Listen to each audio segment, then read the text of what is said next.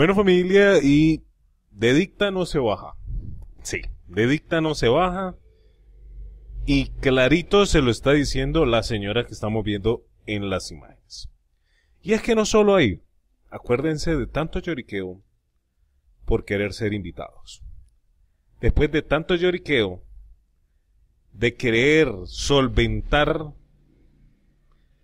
y que ya abran las fronteras. Y de que la alegría etísica, que la alegría así fugaz que vivieron con el representante de Petrovsky que vino a nuestro país. Ellos quedaron encantados, tanto así que ya solicitaron a la asamblea ilegítima de ellos que pidiera a Colombia o cualquier país, claro, para ellos aparentar que les entreguen a esos personajes que salieron del país, saliendo, salieron huyendo del que está sentado en Miraflores, por obvias razones.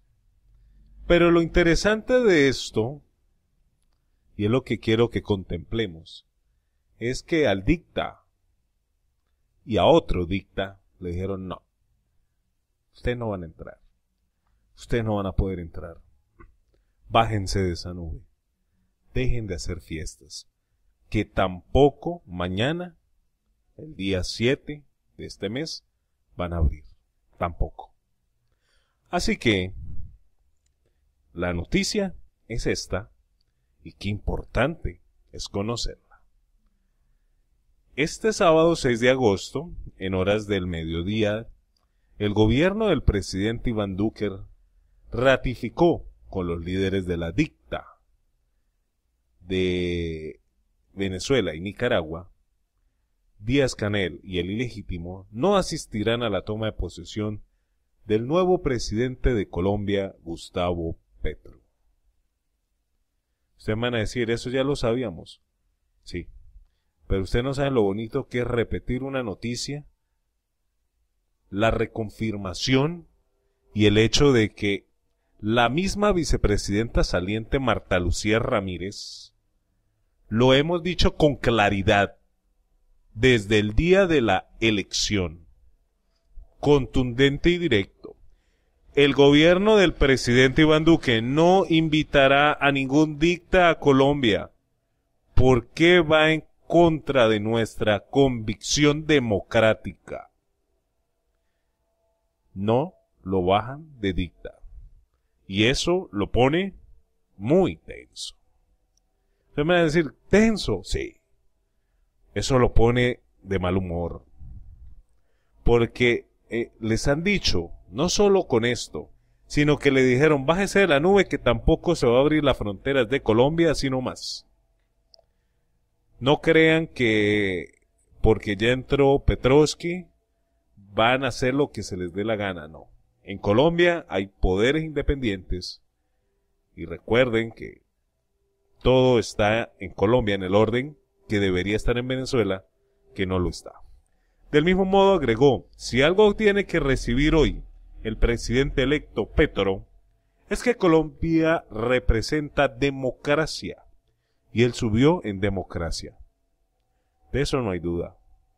La cuestión está en que se mantenga en democracia y es seguro que va a bajar en democracia. Confianza en la democracia, de tal manera que ni los invitamos ni van a venir y no pueden llegar si no están invitados. No se vistan que no van. No se vistan que no van. Eso así de clarito se lo dejó y que no lo olvide nunca. Ese es el mensaje para estas horas del día. Esta es la información, espero les guste, espero lo compartan. Espero les guste siempre compartir la noticia y me ayuden siempre a compartirlas. Ahora, si llegaste hasta este punto para oír la frase del día es la siguiente. Todos somos buenos o malos. Depende de quién cuente la historia. Muy cierto.